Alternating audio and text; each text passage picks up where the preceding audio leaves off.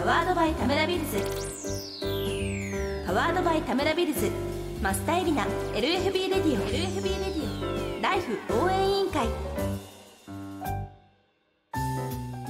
皆様こんにちは。マスタエリナです。田村義之です。アシスタントの岡野裕太です。アシスタントの松田倖輔です。パワードバイタムラビルズマスタエリナ LFB レディオライフ応援委員会。この番組は毎回住宅からファッション SDGs などライフに関わるゲストを迎えタムラビルズが展開するライフファンボックス人生を応援する住宅のようにリスナーの素敵なライフを応援する番組です。皆さん本日もよろしくお願いします。お願いしお願ますいしますそして今週は間もなく新年度。さらに今月は月替わりでねこれからこう田村ビルズのはい。社員の方たちがアシスタントとして来てくださるということでそれの記念すべき1回目のトップバッターです、はい、アシスタントとなりました。松田さんが来てくださっているということもありますのでいつものゲストトークではなく田村ビルズってどんな会社なのかということを根掘り葉掘り伺ってみたいと思います。さあそして、ね、このメンバーのリクエスト曲というのも皆さんお楽しみにしていただければと思います。オールリビング田村ビルズグループの提供でお送りします。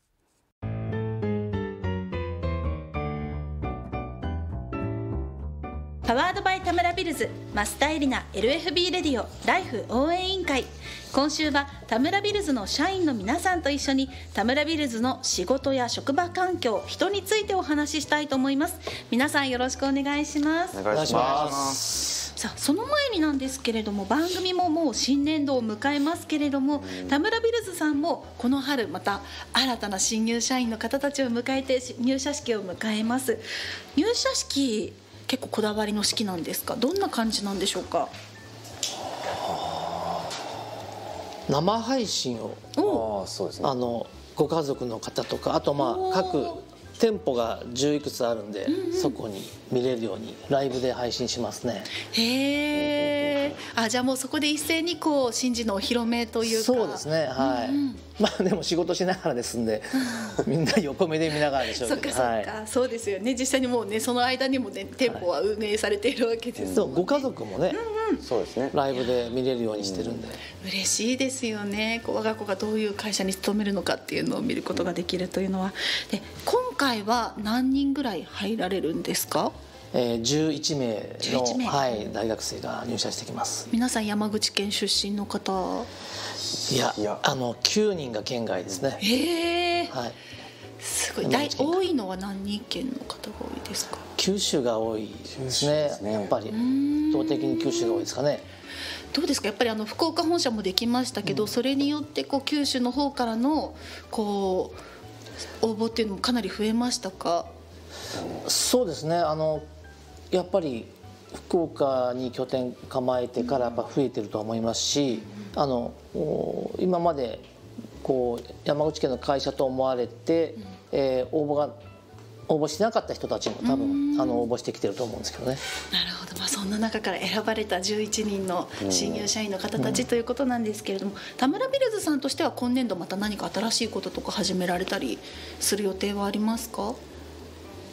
今年度はこの LFB カフェの 100m 近くにはい。LFB タワーなるものがはい。はい。あの6月か7月ぐらいにはん。オープンできると思います。はい。どんな建物でどんなものがあるかって今はまだ言えない感じですか？いや行きますよ行きますよ。教えてほしい、はい。ちょっと、映像なしでどう伝えればいいっていうのはありますけどこれはもう。か角。はい。角地なんですよね。わ写真がガラス張りのめちゃくちゃかっこいい建物がそうなんですよ。角地でガラス張りのところなので、すごく目立つで大型モニターですか？それポスターですか？これちょっとまだ検討中なんですけどなんかこうかっこいい感じにしたいなと。で若者が集まれる場所にしたいなって。そこでこういろいろな情報発信カルチャーの発信だったりとかですね。それこそ1月1日からあの東京タワー TTA きあのさんとけあのコラボさせていただいて、はい。東京タワーもあの65年の節目で、うんうん。そのいろいろな素晴らしい情報発信を、あの電波塔の役割を終えたけれどもあの発信していきたいと、うん。ちょっとそれあの僕たちも同じことをですねはい。あの考えてたって言ったらちょっとあれなんですけどやりたいと。じゃあもしかしてこの LFB タワーのタワーはちょっと東京タワーから来ている？そうです。そうです。すごいなんか姉妹都市的な姉妹タワーみたいな、4階建てなん4です。階建て。かわいいちっちゃくなりましたね、い。や商店街の中ではいやでもね。開放ですよ、はい。はい。いやそうですよ。あの角にですよね、そうです。立ったらすごい迫力ありそうですよね。ですよ。4階建て。へえじゃあそこはこう不動産のお店とかが入るというわけではなくって、はい。そのもう町の方たちが集ったりとか、そうですね。ここからまた盛り上がっていくっていうことにななんるんですかね、か待ち合わせの場所になったりななんて思ってます。うわあすごい写真見たらかっこいいですね。レストランとかも入るんですか？いやこれがですね、ちょっとまだ計画段階なんですけど、もう実現させるということでお話をしますがあの地下に地下があるんです。はい。そこに LFB レディオバーを作ろう。わお。すごい。マサダさんこの番組のはい。名前のついたバーを、めちゃくちゃ嬉しいですね。よくないですか？収録もここで。わあ。そう実際にセットもあっていいですでよく傍らにはこうバーカウンターこういう感じであって。へえすごい。で FM 山口さんにもね協力をいただいて、全面協力いただいて、わあでゲストの方が、まあ、ご都合よろしければあのちょっと次回一日バーテンダーで立っていただけませんか、みたいなことをお願いしながら。おおすごい。あーいろんな そう。なんかこういろんなプロジェクトが、まあ、今までまあ田村ビルズさんされてきましたけどそれがつながってくるというかここへ来てね一つのものになっていくというか。か。ですね。そういううん。新年度にしたいですね、うん。いやこのラジオ番組までここにこういう形で携われるかもしれないと思ったらワクワクしますね。パワードバイ田村ビルズ。パワードバイ田村ビルズマスタイリナ LFB レディオ。ライフ応援委員会。ここからなんですけれども入社4年目を迎える松田さんを中心にいよろいろとお話を聞かせていただきたいんですけれども、まあ就活生たちも聞いてらっしゃると思うんですけれどもちょっとまあ就活の面接みたいなことしますけれども なぜ弊社にみたいなね。なぜ田村ビルズを選ばれたのかっていうところを聞きたいんですけど。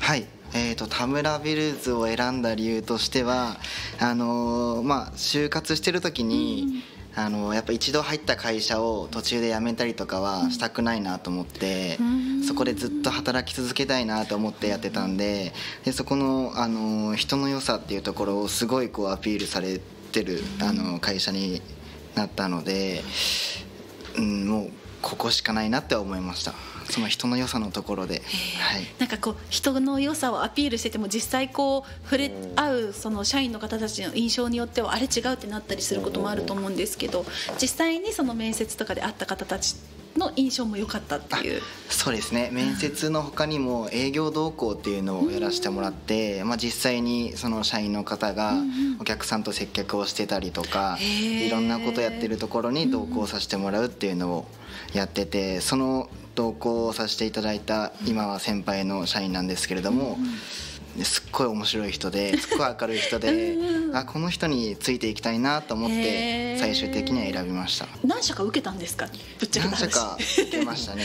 何社か受けて最終選考進んだのがここともう一社あって、もうもう一社の方開けてこっち選んだっていう感じでした、えそのいろんな面接ある中でそういう営業の動向みたいなのっていうのは田村ビルズさんだけでしたか、はい経験はそここだけでしたね。それってどうでしたか？やってみて実際会ってよかったですか？ああってよかったです、あの他の企業も働きやすい働きやすいっていうところは確かにあったんですけれども実際にそこの中に入って経験するっていうことがなかったのであ本当だなっていう印象は当時受けましたね。じゃあよりこう自分が入った後の姿をイメージしやすいというか。あそうですそうです。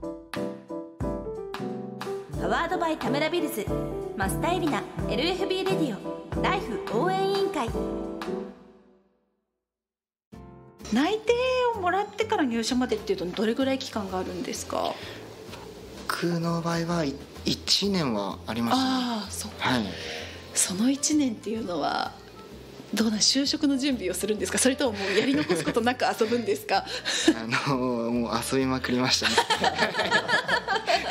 どんなことしましたか？えーやっぱりあのもう地元が長崎なので多分長崎に帰ることはまああと何年もないだろうなと思ってとりあえずもう高校中学小学校の友達とかとまあ主はもう飲みでしたねは長崎の大学に。大学は福岡だったんですよ。なるほどなるほど、じゃあもうしょっちゅう地元に帰ってっていう。そうです。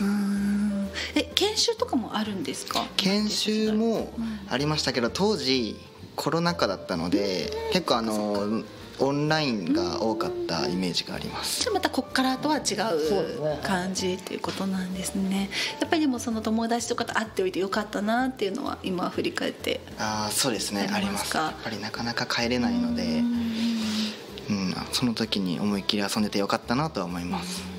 であの、ね、田村ビルズさんあの就職すると最初シェアハウスに住むっていうそうですね。シェアハウスっていうんですか？そうですね。シェアハウスに、えーまあ希望すればですけど、はっていうい、のをお聞きしたんですけど実際住まれましたか？入ってました。はい。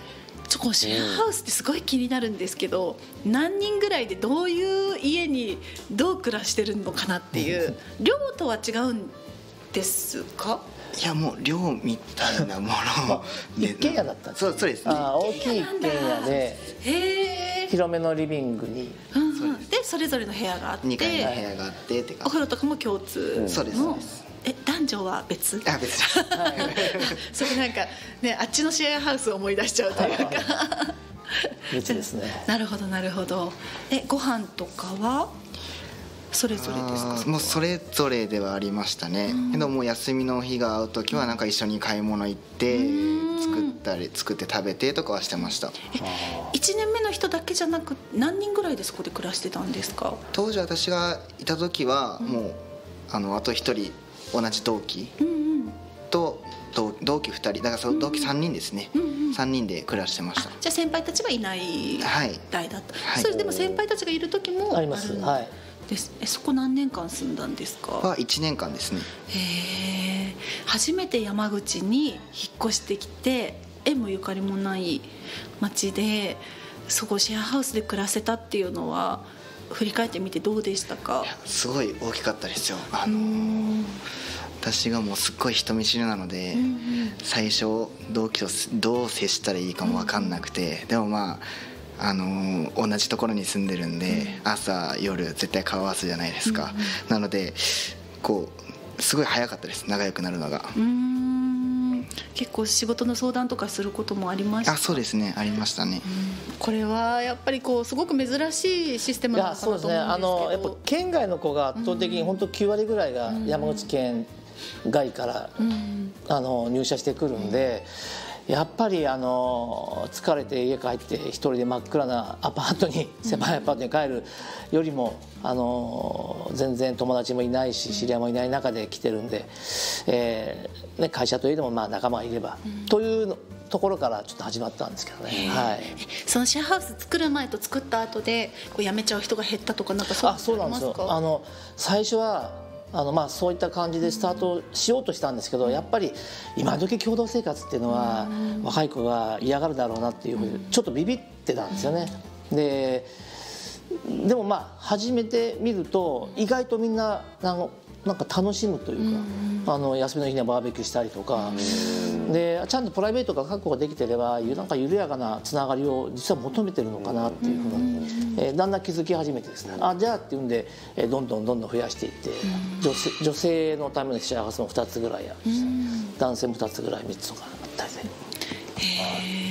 私の山口の家がシェアハウスになるんですよ。なるほどあらそう岡野さんどうやら福岡にあ来週。そうそうそうあそうですそうですあえっ、とそうですはい。えっ、と、引っ越しました。あもう引っ越したね。岡野さん引っ越して福岡に。そのお家ですか？山口の家が今社員寮になっております、はい。すごい。岡野家のこのなんかは空気を感じながらそこにみんなで暮らすんで女すね。性。あそうです女性寮にあの女性寮にしてくださいってお願いします。あ 綺麗に使ってくれそうですもんね。A 型の女性寮にしてくださいお願いします。何型が入るかわかんないです。入ってるかへえいや私岡野さんのお家写真では見たことあるんですけど あんな素敵な家に。写真？はい。ああれじゃないです。か Google マップ Google マップのちょっとだけね。そうだそうだそう。だ僕送り床暖房もねあります。あらあんないいお家に住むことができる。えちなみにその社員寮というかシェアハウスの家賃みたいなのはは、えー電気ガス水道、まあ、水骨も込みで1万5000円。これはありがたいですね。すごいと思います。なんで1年で出ちゃったんですか？あいや僕も2年はいたんですあ二年はいた違う寮に。あそっかそっか、あーそういうことか。そうだね。電気ガス水道 w i f i 駐車場もですもんねで家具とか家電ももう揃ってるところ本的に入るからねなんかやっぱり最初の就職してまた最初のお給料もらう前いに自分の住む基盤を整えるっていうのはすごくお金もかかるし大変な作業だけど、ね。2年とかねその寮に住みながらだとお金も貯まってくるしちゃんと貯金もできますし。そうですよはい。ね、経済的にね自立しなきゃいけない、ありがたい。はいまあ、そういう僕もあの新卒で入った会社、3か月で退去してしまった。あそうなんです。それ何かが合わなかったんですいやちょっと同居が合わなかった。ま あそういう人もねきっとまあいるでしょうね。いろんなね僕はもう人がいますからね。しかも会社に黙ってあの出てしまいましてめちゃくちゃ怒られた会社の把握してる住所に住んでない住んでない。で勝手に出たということで。あえそれタムラビルズじゃない会社いやそうですね。僕は新卒でで入ったそうですよね。初めての会社もう3か月で今日自主退去しましたけど ちょっと尖ってらっしゃった。一人暮らしが良かったんですやっぱり。はいいろんな価値観あります。か らでも実際そういうような形で社会人生活スタートさせて田村ビルズで働いてよかったなとかこういう仕事をやりがい感じるなみたいなところってどんなところですか？あーそうですね。まあ仕事すごい楽しいなとは思うんですけれどもあの、まあ、ちょっと仕事外のところで、あのよくルーキーメンバーといって入社してから3年目までの人たちとかで休みの日にバーベキューをしたりとかあとあの年1回ソフトボール大会とか。あー自分が一番活躍できる場違う違うね違う違う。違う違う。あのそういう、あのプライベートでも、あのみんなでこう仲良くできる場があるっていうのはすごいいいなとは思いました。本当に仲いいですね。うん。あ。ー結構この代は仲いいんじゃないですかね。今日もね今日も。実はスタジオに応援団が。松田さんの応援団が。ファンが駆けつけてくださって てなんか公開収録みたいになってるんですよね。どううんそっか同期が来てますよね。そうですずっと目が合ってるんでもう。同期は先輩後輩がいらっしゃってるんですか？今日は？後輩？いや後輩と同期同期です。ああ嬉しいですね同期大好きなんです。みんな嬉しそうに笑ってますよ。ここでちょっと曲紹介をしたいと思うんですけれども松田さんリクエスト曲何かありますか？はい。えっ、と「ロード・オブ・メジャー」のはいはい「心得」という曲になります、これ選ばれた理由っていうのは？はい、あのずっと小学生の頃から野球をしてきてまあ多分野球やってる人なら誰でも見るであろうアニメのもう多分一番有名な曲であの当時をこう振り返る曲にもなりますしあとあの同期とカラオケ行った時には必ずみんなで熱唱するんで。青春ですね。この曲で、はい、ではちょっと人生初だと思うんですけれどもちょっとラジオの曲振りお願いしていいですか？はい。えーロード・オブ・メジャーで「心得」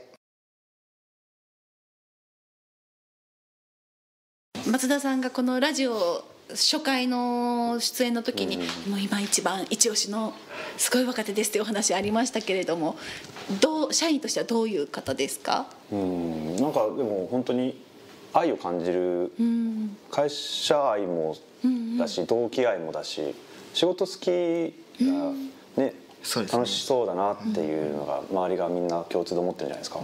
社長はどんな印象？そうですね。あの会社好き、えー仲間好き、えー仕事好き、みたいな感じですかね本当に。自分好きでもあります。そうなんですね、い、いことですよ。もう自分を愛さなければね。そうですね本当に。ちなみにあの内定者のお母さん全員会うみたいな、まあ、ご家族に全員会うみたいなお話ありましたけど社長松田さんのご家族にも？リモートあーそっかでちょうどコロナの時代だから。えーだからあの23年間は結構あの直接やっぱ会わないとあれなんですよね、はい、やっぱりそこは岡の母ほどのインパクト。ロ広い方で？じゃないんですよ。ちなみにあのまあ山口県に住んで4年目ぐらいになるっていうことなんですけどどうですか？山口での暮らしとかっていうのは。まあ、同期が近くに住んでるので、休みの日は結構飲みに行ったりとか、あと最近はゴルフとか、あのやってあの安いんですよ山口。ああそうなんだ。は九州に比べると、いはい。なので結構行ってますね。それはいいですね。ゴルフ結構お金かかりますもんね。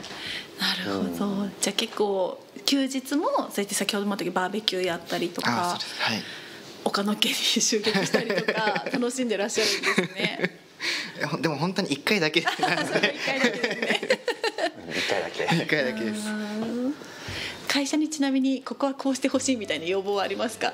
なかなか、あのまあ、コロナの時に入社したっていうのもあってあの全社員をなあんまりこう知らないっていうか同じ事業部とか、まあ、その事業部の店長の方とかしか直接喋ったことがないっていう方多いんですよね他事業部。なのでそれのあのそういうこう全社員でこうなんて言いますかねパーティーじゃないですけどそういうのをこうやる機会っていうのが増えていけばいいなとは思いますね。え社長今社員の方とか関わってる方でいくと何人ぐらいになるんですか？224ほう一堂に会する機会っていうのは。そうですね。本当コロナであんまり会えなかったんで、えー増やしていきたいなと思ってますし、あの50周年の時に、うんうんそうですよね。えーあの家族の方もいろいろ来ていただきましたんで、まあ、あれからね、あの増やしていこうということでもういいだろうということで、はい、じゃあ今から、はい、セッティングしていきます。またそこでこうねつながりが生まれると、ね、新たな発展そうでね。はい。ありそうですね。はいさあというわけで増田さんにぜひ今年度の目標を教えていただきたいんですけれども。今年度の目標ですか、はい。えー2024年はえっ、とまあ今の自分よりももっと成長したいと思っててあのーまあ仕事はどうしてもこう接客業であの、まあ、営業になりますんであの成果をまあ出さないといけないっていうところもあるんですけれどもあのそれは去年までの目標だったんですけど今年はあの人としてこう成長していきたいっていうのが目標ではあります。目標とする人はいますか？います。誰ですか？ああの先輩社員なんですけど、えーとまあ、さっきの入社した時の,、あの決め手となった社員諸泉さんっていう、今は、えー、と久留米にいらっしゃるんですけど、まあ、あのああいう先輩社員みたいになりたいなっていう目標はあります、もうずっと入社してから一緒ですねそこは。先輩これ泣いちゃいますね。嬉しいでしょうね。次回はじゃあ決定ですね。はい、もうそうだ行きましょうか久留米からもう指名入ったんで。そうですね。笑っていいともみたいなシステムになる。いいとも以外認めない。さあそれではここで一曲お聴きください。田村さんのリクエスト曲何でしょうか、はい、えー、長州力の あのテーマ曲「パワーホール」はい、これ選ばれた理由っていうのは？あの何かをこう変えようとか、まあ、えー、長州力は革命戦士と言われてたんですけど、何かをこう変える時、こうなんか自分をこう盛り立てる盛り上げるこの曲なんですよね。変えなきゃいけないっていう時に聴きたくなる曲。曲というかはい、曲紹介お願いします、はい。えー、長州力のテーマ曲「パワーホール」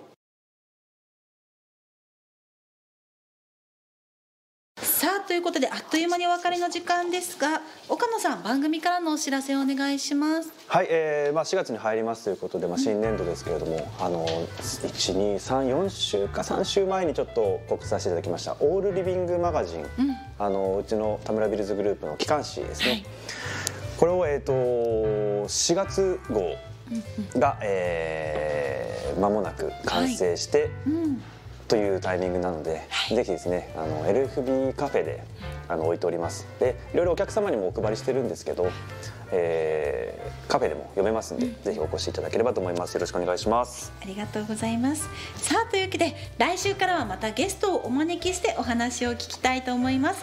というわけでこの時間のお相手は増田絵里奈と田村義之がお送りしました。岡野さんありがとうございました。そうして松田さんもありがとうございました。また店舗でも頑張ってください、はい。それでは来週もこの時間にお会いしましょう。さようなら。オールリビング田村ビルズグループの提供でお送りしました。